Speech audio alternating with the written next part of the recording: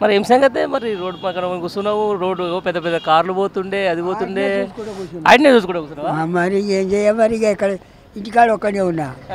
ఇక అవి పోతుంటే నేను చూసుకుంటున్నాను ఉంటే పొద్దు పోతుందని.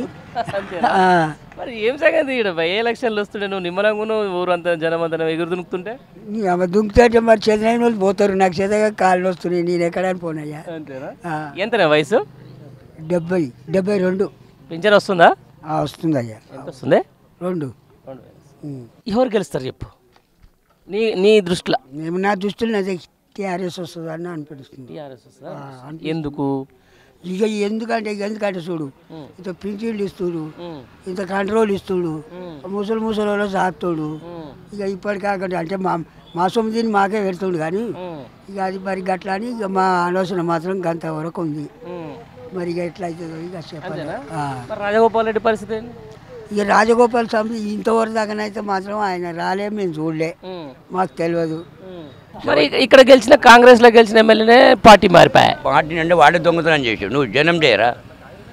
ఏం దొంగతనం చేసి? కాదు పనులు చేయలే కదా. పనులు ఏది చేయలేదు ఎందుకు పోయిండే ఆయన? పార్టీ ఎందుకు మారిండు? డబ్బు కక్కుర్తి వాళ్ళే పోయిండు ఆయన. ఆయనకు డబ్బు తక్కువ? ఉన్నది ఉన్నోనికి ఆశ పెద్దగా ఉంటుంది లేనివానికి ఏముండదు ఆడు పది రూపాయలు తెచ్చుకొని పది రూపాయలు ఖర్చు పెట్టుకుంటే కడుపు నిండాడు ఉన్నోడు తినలేడు పొగని పెట్టలేడు. సరే ఇప్పుడు ఈడ మూడు సంవత్సరాలు ఆయన ఎమ్మెల్యేగానే ఉండే. ఎవరు ఎన్నిసార్లు వచ్చిండే ఇక్కడికి? వచ్చే ప్రదేశం కాన మంచి కానరాడు పోవడం అంతవరకే.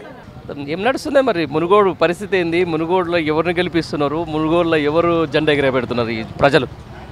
ప్రజలు అంటే ఇక ఏముంది? డబ్బు కోసం ఉంది ప్రజలు. అంతేనా? ఎంత అడుగుతున్నారు ఓటుకు మీరు? మేము అడిగేది వాళ్ళే ఇస్తారు. ఎంత ఇస్తున్నారు వాళ్ళు మరి? చెప్పలేము ఇక. రెండు తారీఖు నాడు తెలుస్తుంది. రెండో తారీఖు ఇస్తానరా?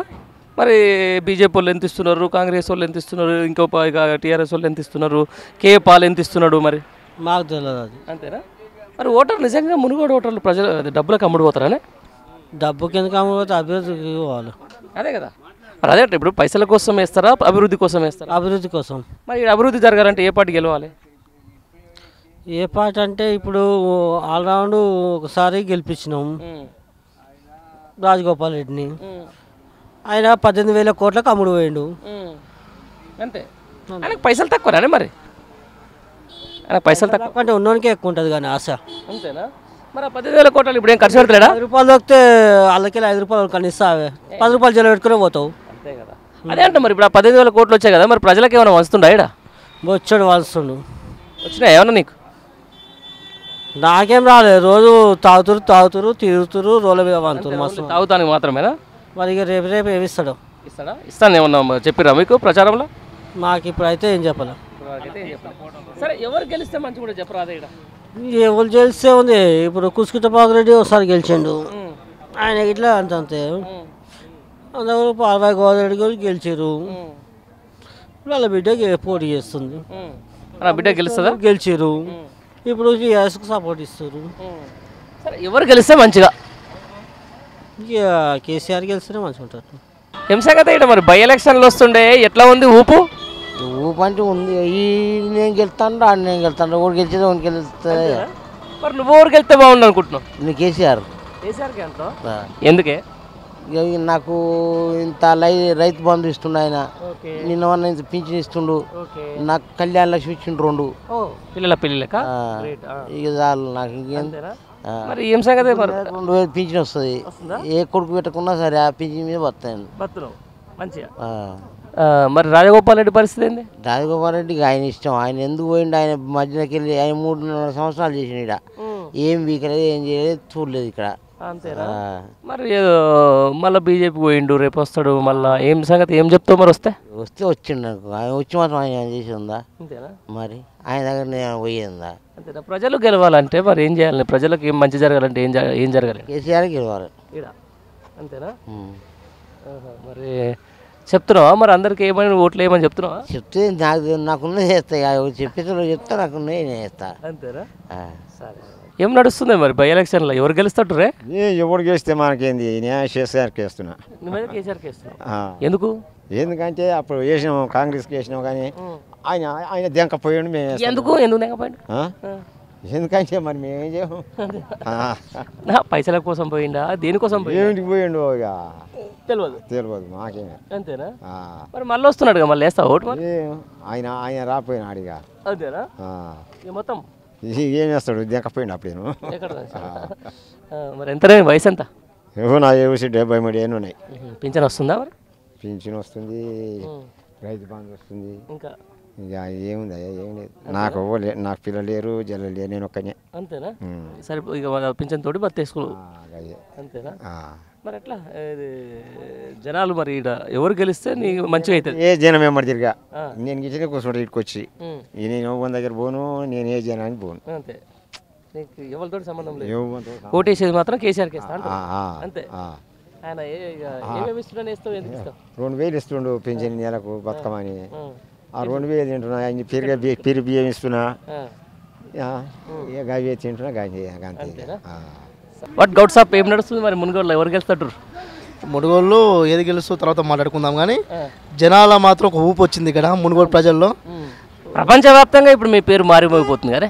అసలు మునుగోడు అనేది ఇంతవరకు ఎవరు గుర్తించలే మునుగోడు ఎక్కడ ఉంది కూడా అసలు తెలంగాణలో మునుగోడు ఏడ ఉంది కొనకు ఎవరు తెలియదు ఆ మునుగోడు ఏడ ఉందని ఇలా ఒక ఒక అసెంబ్లీ మొత్తం వచ్చి మునుగోడులో కూర్చొని తిరుగుతున్నది. ఏ గల్లీ వేణో ఒక మంత్రి ఏ సందులో వేణో ఒక ఎమ్మెల్యే ఏ సందు సా ఇటు మర్చిపోవడం ఒక మంత్రి ఇటు పోదామంటే ఎమ్మెల్సీ ఓ జెడ్పీసులు ఎక్కడెక్కడ జెడ్పీటీసులు ఎక్కడెక్కడ ఎంపీటీసులు అధికార పార్టీ నాయకులు కేంద్ర మంత్రులే అంతా వస్తున్నారు మంత్రులే దిగుతారు కేంద్ర మంత్రులే. కేంద్ర మంత్రులు వచ్చే విషయం అయితే మన ఇంతవరకు తెలియదు ఇంతవరకు మునుగోడుకు వచ్చింది అయితే లేదో కిషన్ రెడ్డి ఒకటి తిరుగుతున్నాడు.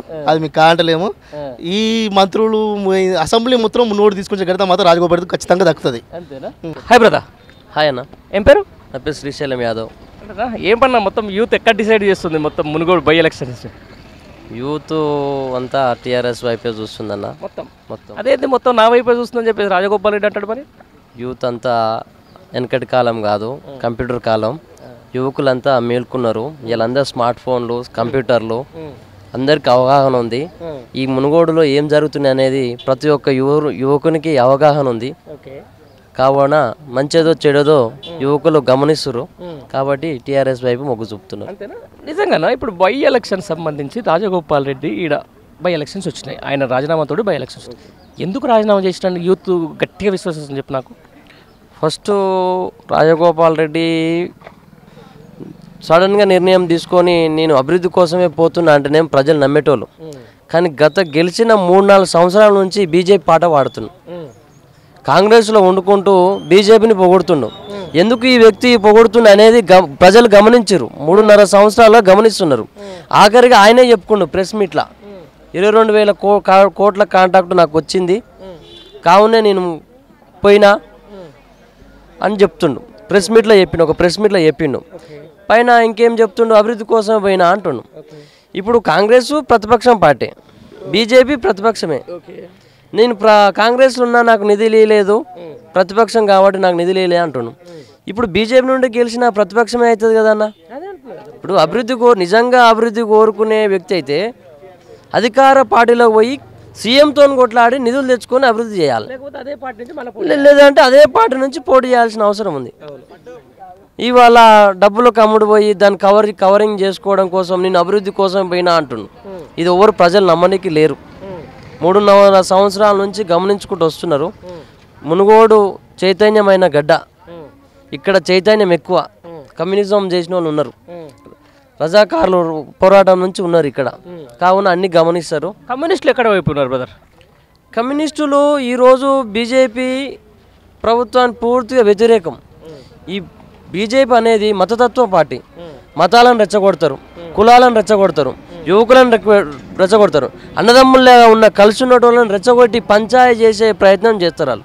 కావున దీనికి పూర్తి వ్యతిరేకం కమ్యూనిస్టు ఉంటుంది. కమ్యూనిస్టు ఏదైనా న్యాయపరమైన పోరాటం ఉంటుంది వాళ్ళది. కాబట్టి వాళ్ళు టీఆర్ఎస్ వైపే మొగ్గు చూపుతున్నారు. ఈ అరాచక పైన మోడీ ప్రభుత్వం అరాచక పైన పాలన ఈ పాలన వస్తే మనం ఈ జీవనాధారం కష్టమవుతుంది ఇలా చూసుకుంటున్నాం మనం. ఇలా పెట్రోలు అరవై రూపాయలు ఉన్న పెట్రోలు నూట ఇరవై రూపాయలు చేసిండు. గ్యాసు నాలుగు వందలు ఉన్న గ్యాసు పన్నెండు వందల రూపాయలు చేసిండు. ఇలా పప్పు ఉప్పు చింతపండు అల్లం బెల్లం సున్నం ఏ చూసుకున్నా తిండి మీద కూడా జిఎస్టీ వేసే పరిస్థితి తీసుకొచ్చింది మోడీ. మొత్తానికి బ్రదర్ ఈ ఎలక్షన్లో గెలిచేది ఎవరు మునుగోడు గడ్డపై నిలిచేది ఎవరు హండ్రెడ్ పర్సెంట్ మేము గ్రామాలల్లో ఉన్నాము. మా గ్రామంలో కానీ పక్క విలేజ్ కూడా తిరుగుతున్నాం. హండ్రెడ్కి హండ్రెడ్ పర్సెంట్ టీఆర్ఎస్ వైపే చూస్తున్నారు. ఇప్పుడు మొత్తం మునుగోడులో మొత్తం రాజకీయం మొత్తం. కమ్యూనిస్ట్ కమ్యూనిస్ట్ ఉండే అప్పుడు. ఆ, మరి ఇప్పుడేమైంది ఇప్పుడు కూడా ఉంది కానీ తక్కువ. అంతేనా? ఆ. మరి ఏం సంగతి? ఇప్పుడు ఏం నడుస్తుందంటావు? మునుగోడులో ఎవరు గెలుస్తారంటావు? టీఆర్ఎస్ వస్తుంది. పక్క? పక్క గ్యారంటీ. ఎట్లా? ఎట్లా? ఆయన చేసే పనులు చేసిండు. ఏమేం పనులు? ఇప్పుడు కళ్యాణ పథకం ఇస్తుండు. ఉమ్. పెరి బియ్యం ఇస్తుండు. ఆడపిల్లకు పుట్టినప్పుడు ఇస్తుండు.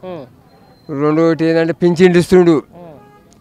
ఇక ఆయన చేతన రికార్డ్ చేసిండు.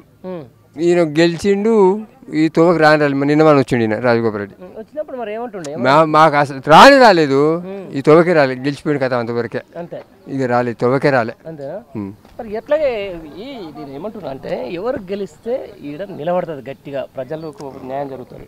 చూసుకుంటే ప్రభాకర్ రెడ్డి. అంతేనా? ఆయన గెలవాలి. ఆయన గెలవాలి. ఖచ్చితంగా. మాకు కిలోమీటర్ దూరమే ఆయన ఊరు. అంతేనా? ఆపతికి సాపతికి దేనికైనా పోవచ్చు. వస్తాడా? ఆ, హల్కగా మొన్న కూడా గెలవకున్నా కానీ ఆపసాపతి కూడా వచ్చిండు ఆయన. ఫోన్తో కూడా పోలీస్ స్టేషన్లో కానీ ఎక్కడైనా కూడా ఫోన్తో కూడా నడిపించిండు. మరి ఈయన పోయి ఢిల్లీ బంతే దెబ్బ తిన్నాక తరకాలు ఎందుకు? అంతే. ఆ? వస్తుంది కదా. సరే లాస్ట్ కూడా ఎవరు గెలిచినట్టు ఈడ కంపల్సరీ టీఆర్ఎస్ వస్తుంది. ఎందుకు వస్తుంది అంటే గదే జెండా మారలే. ఆయన ఓడినా గెలిచినా క్యాండిడేట్. సరే ఆయన కూడా కొన్ని పనులు చేయలేదు అనుకో. ఏది ఆ పదవి ఉన్నప్పుడు చేయకున్న పర్లేదు జెండా మారలే. అల్లనే ఉండొచ్చనే.